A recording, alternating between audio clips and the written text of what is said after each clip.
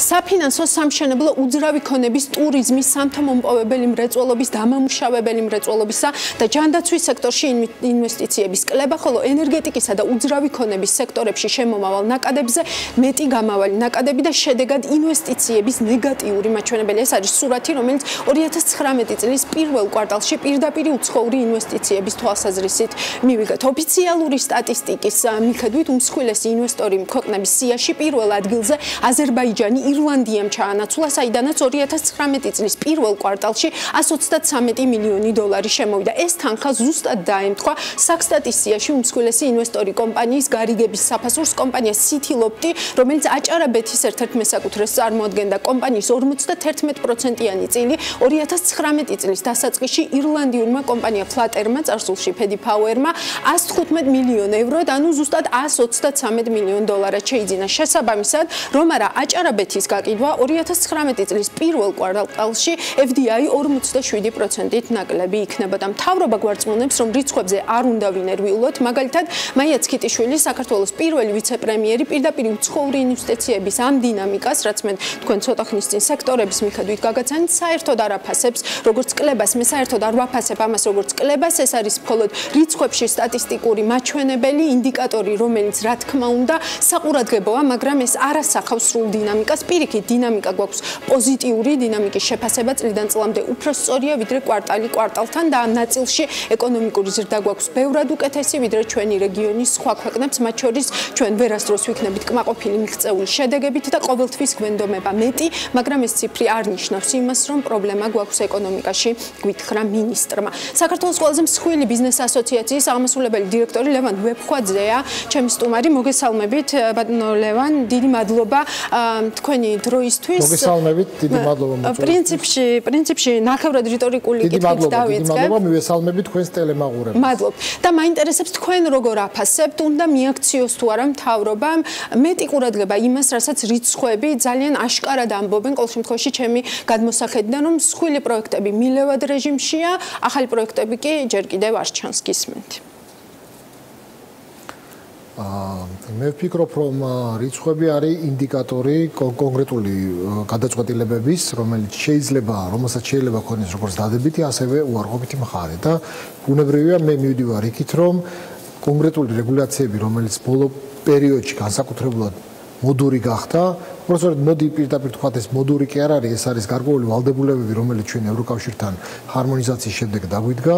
აი ამ რეგულაციებთან დაკავშირებით უკვე შედეგი აისახება ხოლმე ამ რიცხვებში. მე ბუნებრივია ქალბატონ მაიას ვეთანხმები ნამდვილად იმაში, რომ კვარტალი კვარტალთან შეთანხმება, შედარება შეიძლება არ იყოს კორექტული და ალბათ წლის წლის ჭრილში უნდა ნახოთ, იმიტომ რომ შეიძლება რომელიმე ერთი სტატისტიკურად ერთი კონკრეტული რაღაცა ტრანზაქციამ შეიძლება იმდენად იმდენად მნიშვნელოვანი გავლენა მოახდინოს, რომ კვარტლის მონაცემებზე რომ შესაბამისად მე რაღაცა გამრუდებული სურათი შეიძლება მივიღოთ, მაგრამ კი ბატონო, ბატონო ლევან, უბრალოდ 2018 წლის მონაცემსაც რომ შეხედოთ, იქ 35%-იანი კლება გქონდა.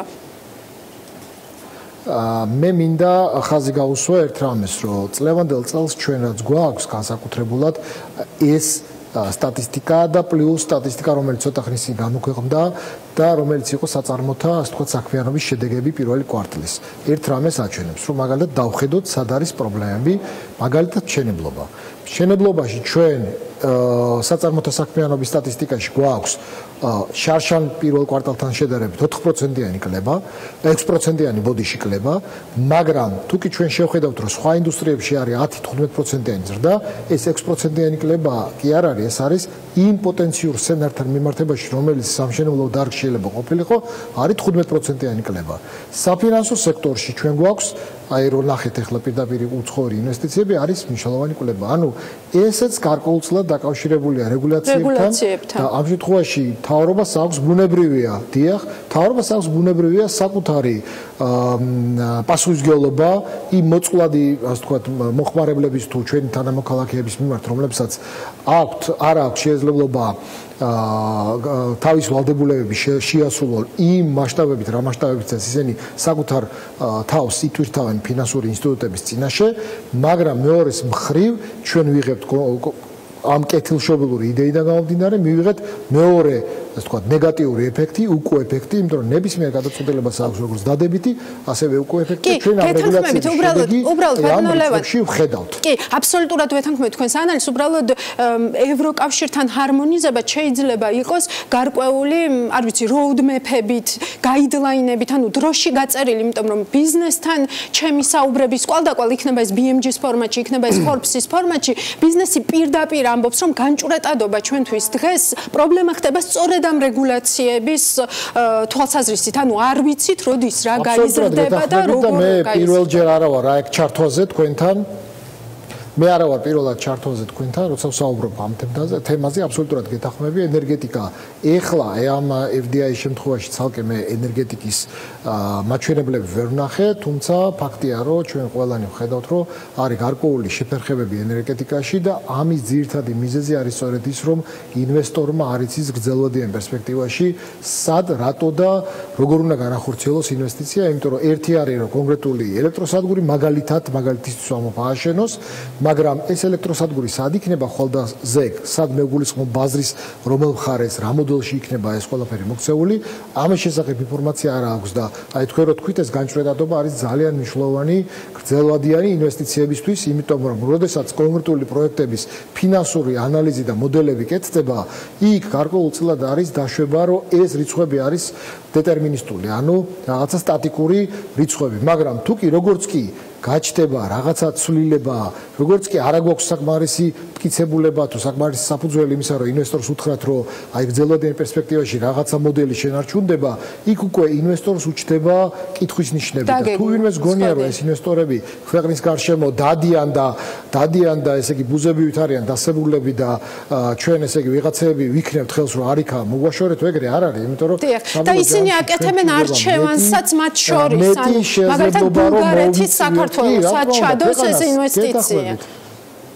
და მათ აქვთ ეს არჩევანი, ხო ისე არ არის, რომ მხოლოდ საქართველოა. რამოდენიმე დღის წინ, რამ მაგალითად, რამოდენიმე დღის წინ ფინანსთა სამინისტრო ბიზნესთან კომუნიკაციის გარეშე წინასწარი გასაუბრების წინასწარ შეთანხმების გარეშე გარკვეული რეგულაცია შეცვალა ის თემა რომელიც თქვენ ძალიან კარგად იცით, ოქროსია, ხო?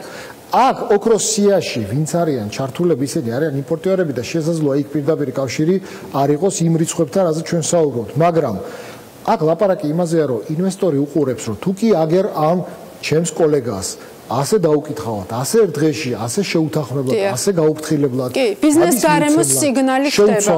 აბსოლუტურად გეთანხმები. უნებრივია, მე მე ხვალ რამ გარანტია მაქვს, რომ ეს სტაბილური გარემო მე მექნება და ბიზნესისთვის სტაბილურობა არის მნიშვნელოვანი, იმიტომ რომ როცა ინვესტიციაზე ვსაუბრობთ, იქ არის უკუგებაზე საუბარი წლობით და როცა მსხვილ პროექტებზე 10 წლები და ძალიან ცოტა დრო გრჩება ბატონო ლევან და დიახ, დიახ, ისე უბრუნდებით ამ თავარ პრობლემას.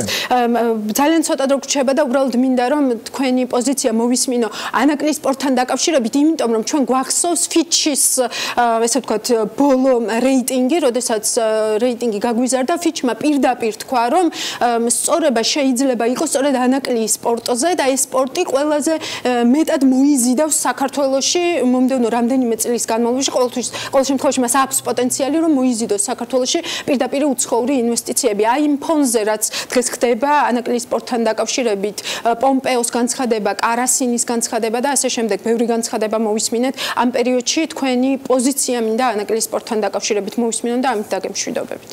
უნებრივია ისეთი თქვენ ახლა ისეთი ავტორები დაასახელეთ განცხადების, რომ ჩემი განცხადება დამატებით იმასთან შედარებით ნამდვილად არაფერს არ წარმოადგენს, იმიტომ რომ ყველა კარგად ხვდება, რომ ეს არ არის მხოლოდ აა ასე ვთქვათ, ბიზნეს პროექტი ვიღაცისთვის ეს არის ქვეყნისთვის მნიშვნელოვანი სტრატეგიული პროექტი და ბოლოს და ბოლოს თავის დროზე, როდესაც ამ საუკუნის წინა საუკუნის დასაწყისში ნიკოლაძის მიერ განისაზღვრა ქვეყნის ერთ-ერთი ასე ვთქვათ, განვითარების სტრატეგია და მან თქვა, რომ სწორედაც 2-3 ბევრი პორტი უნდა იყოს, 3-4 პორტი უნდა იყოს შავ ზღვაზე, იმისათვის რომ ჩვენ პირველ რიგში მოვახერხოთ ადგილზე სამუშაო ადგილების შექმნა, მეორე ის რომ ქვეყანამ შეიძინოს გრძელვადიანი და დაიმკვიდროს როგორც გრძელვადიანი, ვთქვათ, ფუნქცია და ამ შემთხვევაში კომპეტენტური ამ შემთხვევაში სატრანზიტო ფუნქცია და ჰაბის ფუნქცია, რაზეც ამდენი კონკურენტული, მოდიში, კონკურენტული უპირატესობა სხვა ქვეყნებთან მიმართებაში და ამ შემდეგ მე მგონი აქ საერთოდ კომენტარი ზედმეტია, უბრალოდ რომ